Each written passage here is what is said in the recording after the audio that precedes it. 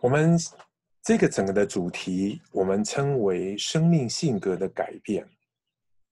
那弟兄姐妹们，我特别要来讲一下，生命性格的改变才是属灵的长进这个观念。我们对所有的人来讲是非常非常难的。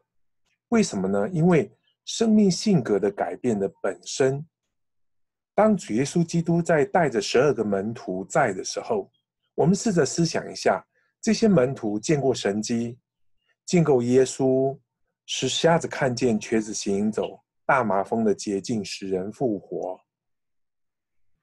按照我们的观念来讲，这些人应该。很快的，因为主耶稣这些事情，他的生命就改变了。但是我们发现，犹大的贪婪没有改变，他因为自我的关系，他最后就把耶稣卖了。彼得他能够在最后的时候三次不认主，那我要必须跟弟兄姐妹说，这里面就提到，我们千万不要小看这种生命性格改变的。那个过程，那个过程不是我们每一个人想象中的很简单，其实非常不简单的。而且圣灵神也提醒我，当门徒们信主了以后，耶稣复活升天，大概在公元三十年左右。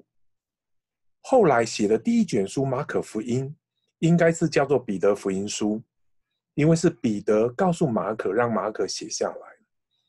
那在这个过程的里面，啊，彼得大概在公元五十多年上下，他写了第一卷的马可福音书。你想想看，这有二十年的时间，也就是说，从耶稣复活升天到第一卷福音书下来的时候，我们看见了门徒酝酿了二十年，他们才去写有关于耶稣。在地上的事迹以及教导，我自己非常的相信，在那个过程的中间，我们有许许多多当时的弟兄姐妹，他们一定跟彼得讲说，告诉我们一些耶稣的故事吧。那啊，彼得呢，也说了，十二个门徒，包括马提亚，也说了，在这个整个的过程的中间。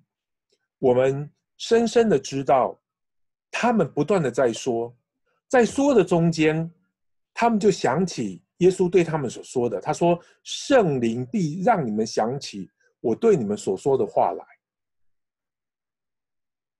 那他们在这二十年经历的中间，从第一卷福音书出来的时候，我们就看见他们不断的在教导中间，告诉别人有关耶稣的事迹。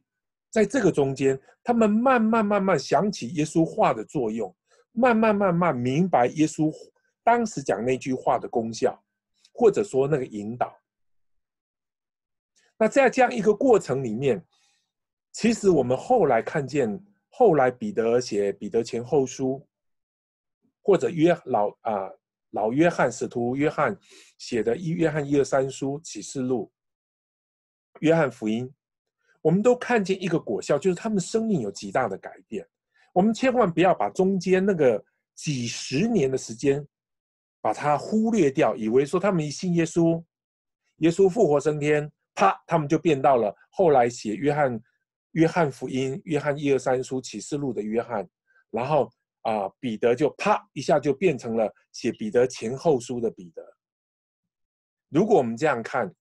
其实我我们觉得我我觉得我们看错了，它中间有好几十年的时间，他们生命改变，好几十年的时间，他们在面对他们自我的软弱，然后靠着圣灵把神的话提醒他们生命，然后他们做了改变。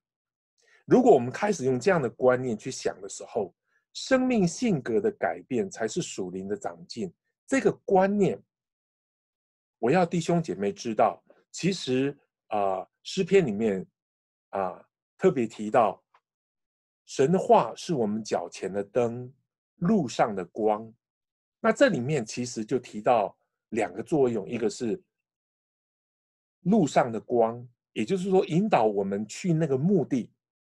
脚前的灯是引导我们今日的改变。那耶稣又告诉我们，当圣灵来的时候，他要我们想起神的话来。那因此，我们就开始要建立一个很重要的观念。这个观念就是说，当你今天，你我今天在分享神的话语的时候，那个话语会种到你的心里面，会进入你的心中。就像耶稣讲的撒种的比喻，它会进到你的心中。它进到你的心中的时候，如果我们的心是被主所经营的，它就会在啊，我们面对那个事情的时候，或者那这个事情发生的当儿，圣灵就让这个话变成我们脚前的灯，以至于我们看见哦，原来。神让我经历这件事情，要经历这种生命性格的改变，是要神要我对付这件事情。那这个过程里面就叫做脚前的灯，因为圣灵要把神的话在我们心中点亮，使我们有生命的光。然后我们把这些光不断的在遵循学习的时候，我们才发现原来这个脚前的灯。是要引到路上的光，也就是引到最终的目的。所以弟兄姐妹，当我们在这样一个想法的里头的时候，我们来看生命性格的改变，一定要加上时间，或者说，我们对于别人一定要加上耐心，因为我们通常用那种错误的观念在读圣经。我刚刚讲了什么错误的观念，就是。我们读彼得的时候，以为彼得耶稣复活升天，啪，他就变成了彼得写前后书的那个彼得。其实没有的，那经过最少几十年的时间，最少几十年的时间。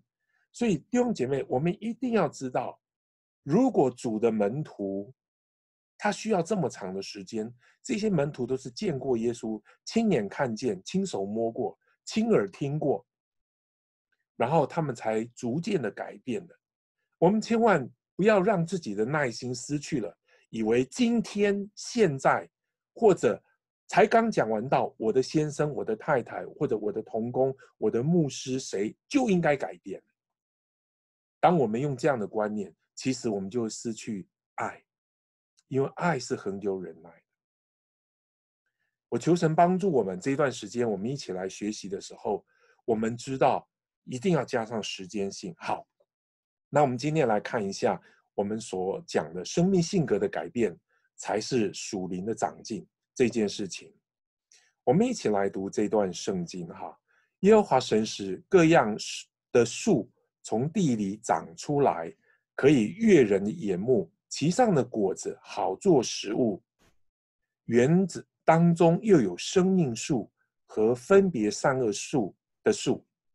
啊，第二段圣经同样是在创世纪二章那后面一点，我们一起来读。请耶和华吩咐他说：“园中各样树上的果子你可以随意吃，只是分别善恶树上的果子你不能不可吃，因为你吃的日子必定死。”那弟兄姐妹，我我想说，我们用一另外一个角度来看一件事情，就是。我们的神吩咐我们不可吃善恶树上的果子，可是你要知道，耶和华神使各样的树从地里长出来，然后呢，长出来以后，他们就开始结果子。那这里面就其实提到一个啊，我们要吃一棵树的果子，我们必须有一个我们。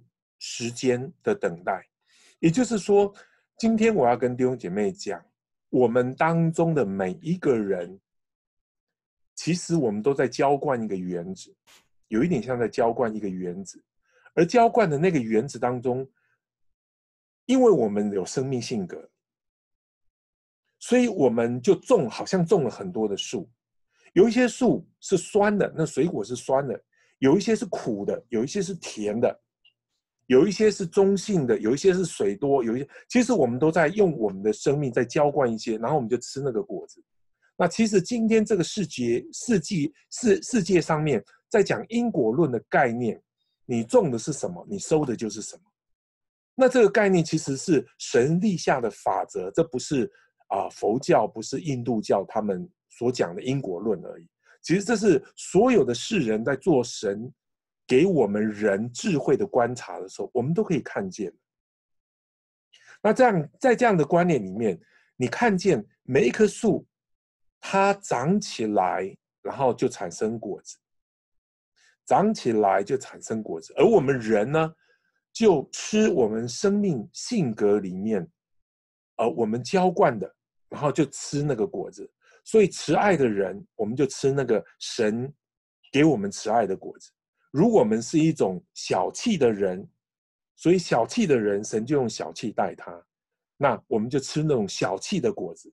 其实我们每一个人，我们周遭所遭遇的每一件事情，大概基本上都反映着我们性格的一些啊过去的经营跟现在我们得到的结果。我们如果开始建立这样的观念，所以。神的话进来的目的是要开始让我们知道我们的出问，我们的生命出了问题。那我们的生命出什么问题呢？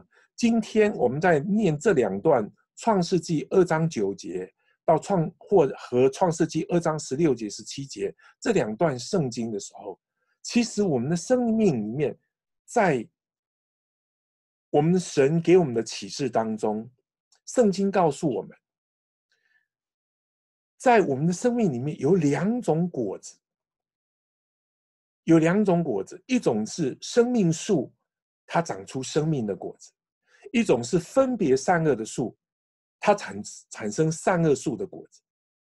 然后我们的神其实在告诉我们，只是分别善恶树上的果子，请注意，善恶树它要长果子，我们才会吃，所以。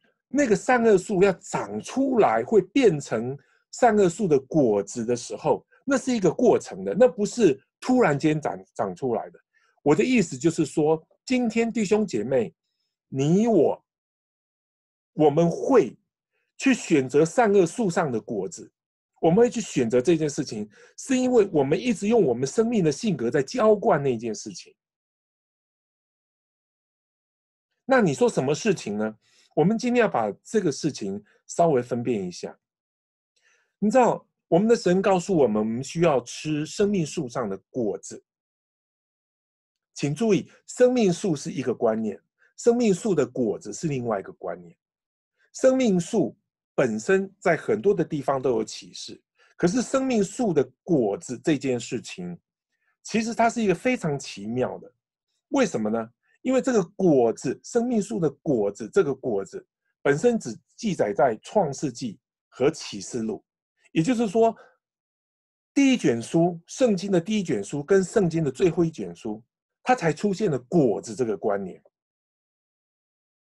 当我们讲到生命树的时候，你要吃那个果子是什么意思？我们要建立一个很重要的观念：生命树的生命这个。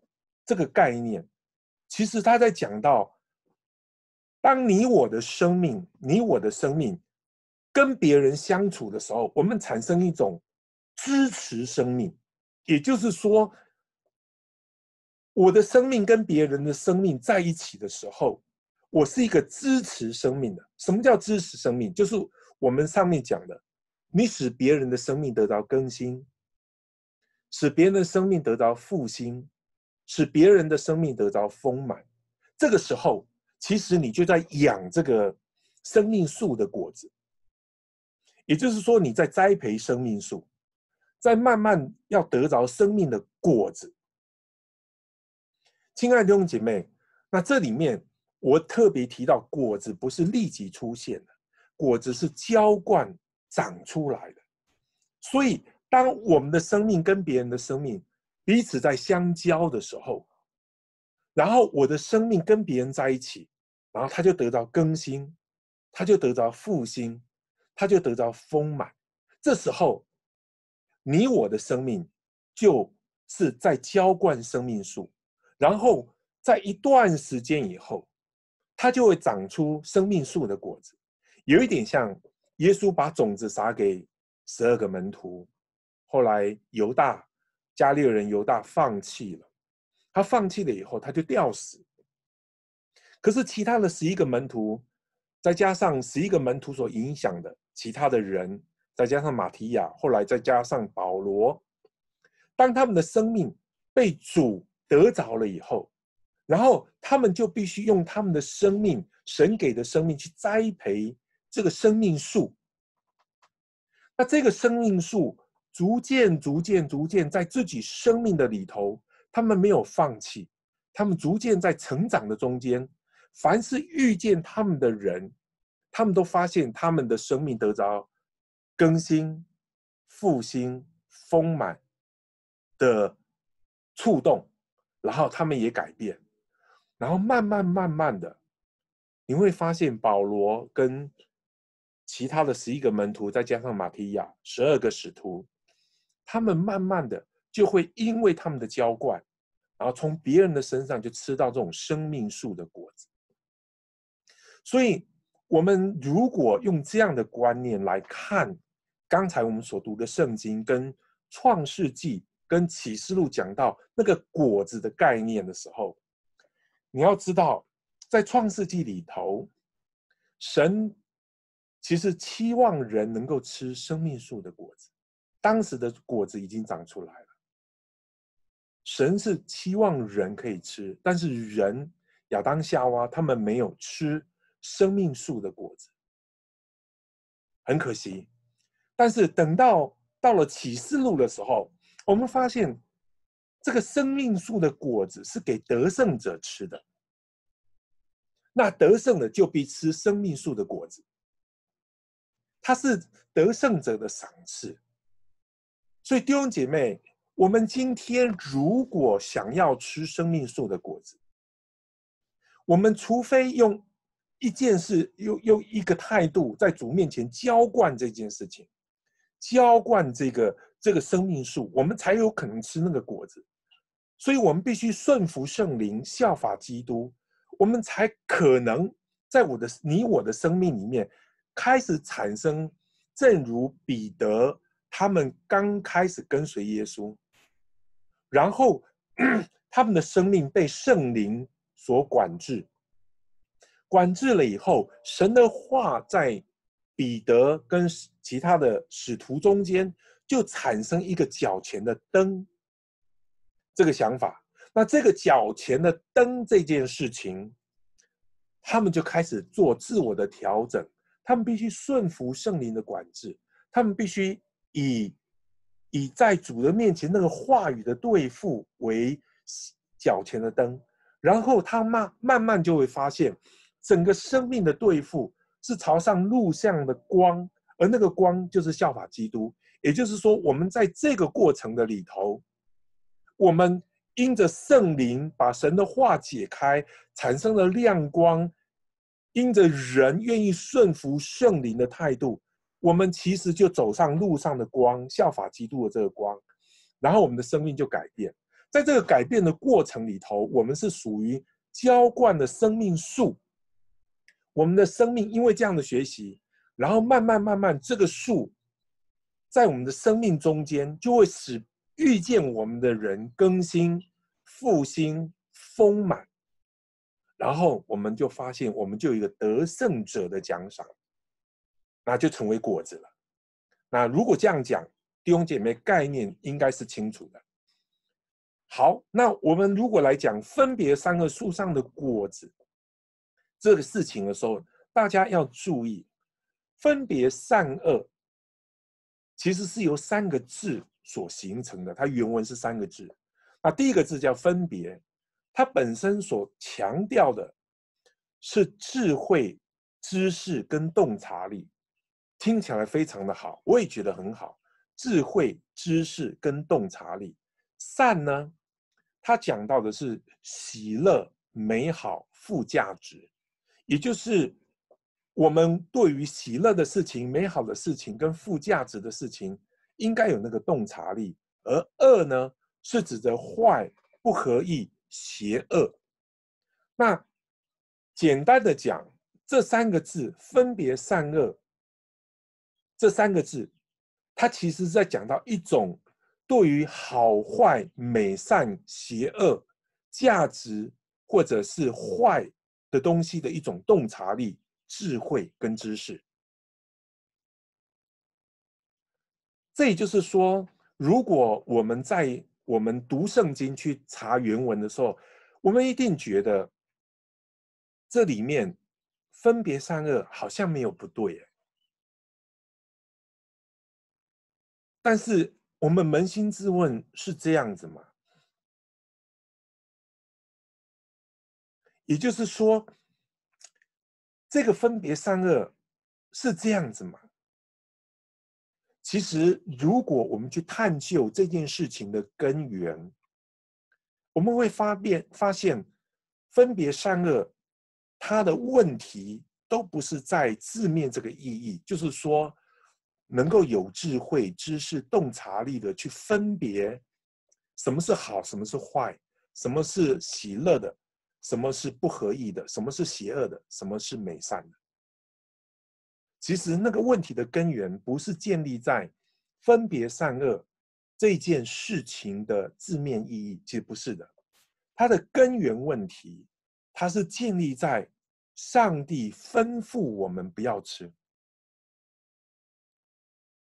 也就是说，这个根源性，它是建立在人违背了神，不顺服神，而想获得。一种知识，一种自己觉得好像可以判断的能力。是的，当人不顺服神的时候，圣经其实在告诉我们，那分别善恶的整个的概念，是以人的自我为中心的恶。我们一定要去注意这个概念。这个概念里面讲到，当我不是以神，或者说我不是以顺服神，我能够透过神的教导来明别明白善与恶的时候，我想透过知识，我想透过自己的智慧和洞察力去分辨的时候，其实我们人就迈入了一个恶，那个恶叫做自我中心。圣经里面讲过一个恶，他说我们众人都偏行己路。其实偏行己路就是以人的自己为中心的一种恶。是的，善恶树的果子，其实我们自己醒察就发现，我们有自我中心，我们有律法主义，我们自以为意。或者说，我应该这样讲：我们觉得我们是对，别人是错；我们是好，别人是坏。我们大概必须先站在这个角度里头，我们才会去做这种判断力。所以，我们所有建立的那个概念，是以自己的安全，就是说，不要伤害我。你如果一伤害我，我就要抵挡，要么我就反击。其实我应该再加上逃避的哈。我们许多的事情，其实我们在那自我中心，在律法主主义跟质疑的里头，我我们我们这个人所有做的判断，大概都是以自我为中心的安全感，以及要么我抵挡，要么我反击，要么我逃避，我们来。来做这样的一个反应，那这些反应的里头，跟神的旨意，跟神在我们生命中的计划是没有关系的。所以，我不知道在弟兄姐妹记不记得，当约瑟被哥哥卖了以后，看到哥哥们来到埃及籴粮，他要来买粮食。当约瑟看见哥哥们的时候，他做了把哥哥分开来，然后啊，然后哥哥们讲亚兰话，约瑟是讲埃及话，所以他听得懂哥哥们讲的那个亚兰的土语。听完了以后，哥哥们自责，约瑟就跑去哭了。我我必须跟大家讲，这里面其实充满着那种情感情绪的矛盾。也就是说，约瑟在面对着哥哥们卖他的这个事实，他心中是愤恨的。可是等到你读到创世纪第五十章的时候，约瑟跟哥哥讲的话，我们就发现。他说：“你们过去的意思是要害我，但神的意思原是好的。”那弟兄姐妹们哈，在这样的一个概念里面，我们就会发现，当人以自我为中心去考虑我们周遭所有的事情，虽然我们有智慧、有知识、有能力，我们就可以发现这件事情的好与坏。我们用着自我的安全感做抵挡、反击、逃避。我们在思考的时候。我们要注意一件事情，我们在这个事情的中间，我们都没有考虑到神的旨意跟计划。神为什么让这个事情发生？神为什么要让这个人出现在我面前？神为什么要让我得这个病？神为什么？其实我们太少的人去考虑这些事情。我们都以我们眼前所思考的来作为评断一件事情的善与恶，来作为考量，啊，这时候我们的生命其实就不容易跨进去神的国或者神的旨意计划。所以弟兄姐妹们，当人用着神所禁止的方法。来增加自己的知识和判断，请注意，分别善恶这件事情是神禁止用人的知所获的知识判断，也就是简单的说，在我们信主之前，当我们要去为一件事情定好坏去判断的时候，你知道，我们当时就是属世的，我们就是属血气的。我们跟属灵的福分没有关，我们能够做的所有的知识跟判断，其实都是以自我为中心的。那在这样一个没有神的拯救、没有神的救恩、没有圣灵的光临到的时候，其实人是效法了魔鬼，以己为中心的。当圣经以赛亚书十四章里面提到魔鬼的时候，他提到我要。我要我要的时候，我们就看见魔鬼的堕落是以我要为中心的。那弟兄姐妹，我们反过来来看今天这个市局，我们所存在的，你不觉得不仅是人，连国家都是以我要为中心的？当我们看见德国把飞往瑞士的那个口罩就扣押在德国，我要。他不管你，你你买的，我要。这是国家，那我呢？我们也进入我要，我要。当这种以我要为知识为判断的时候，亲爱的弟兄姐妹，我们就效法了魔鬼。我要。罗马书五章十二节，我们一起来读。情，这就如罪是从一人入了世界，死又是从罪来的，于是死就临到众人，因为众人都犯了罪。弟兄姐妹，人在没有得救之前，我们的人，这个人，他那个人的意思就是软弱。那我们要知道这个字。就是创世纪里面软人的那个意思，就是软弱。软弱，这个软弱的人，他是会被引诱进入犯罪，或者我们的身体会被驱使去犯罪当我们没有神的光，我们在往前走的时候，我们就是这样。亲爱的弟兄姐妹啊，这样子来看的话，我们就发现什么？我们发现，当圣灵我们得到救恩，圣灵在我们心中的时候，他要使神的话进来。进来是什么意思？好，你今天，你我今天都看见罗马书五章十二节，我们都是这样的人，是一个容易被罪驱使进入犯错、犯罪的一种软弱的人。那当我们内心中明白这一段圣经的时候，好，我们我们生活在我们的生活里面，我们面对所有的挑战、困难。从人而来，从事而来，从自己而来，从家人而来。我们在面对的时候，您知道，我们这个人会在罪性的底下，就趋向于以自我为中心的判断。你说，难道错了吗？没有错，没有错。你的判断怎么会错呢？但我的问题不是你你我的判断，我的问题是，神的旨意是什么？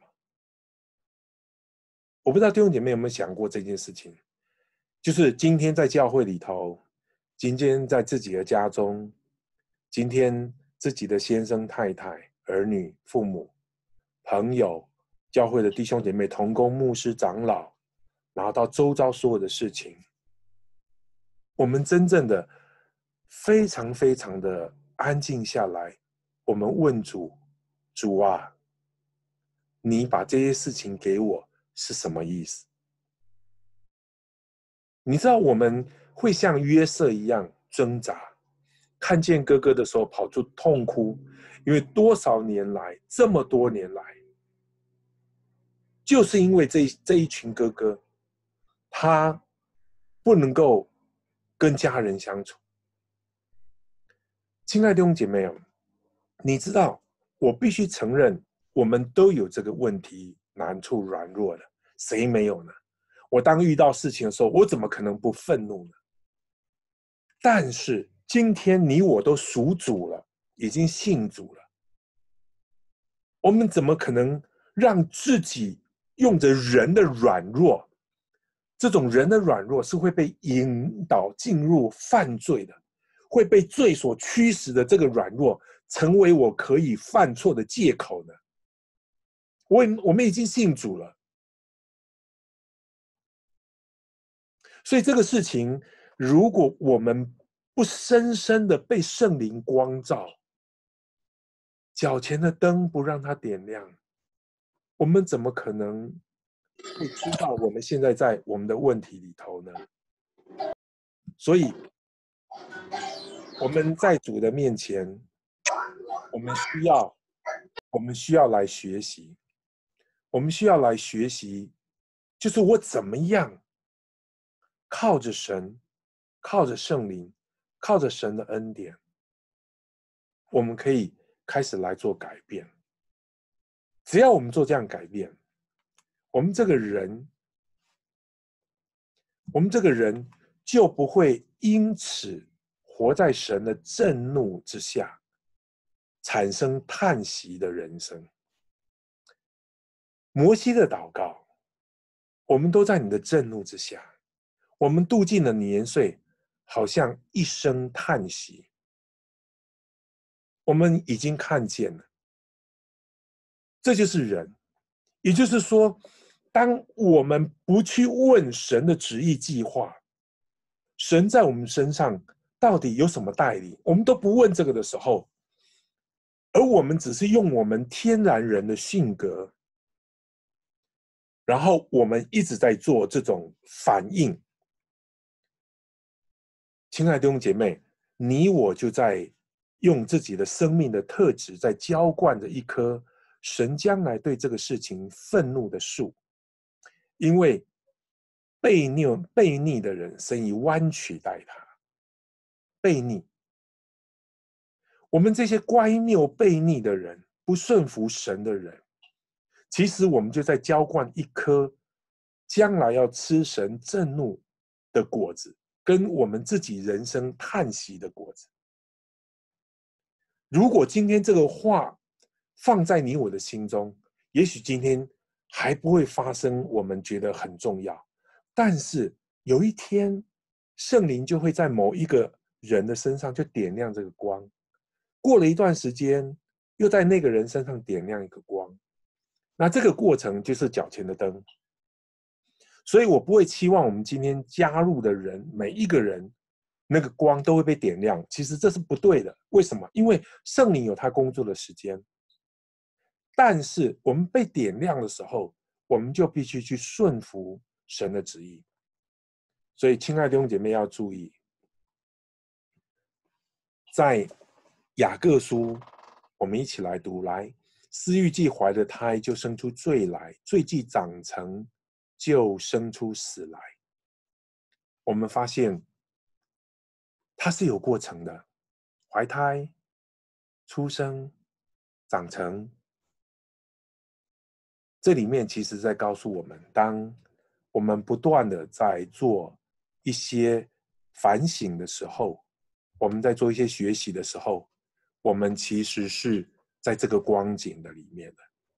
好，我要准备把时间开放给弟兄姐妹，让我们大家都可以来讨论，好不好？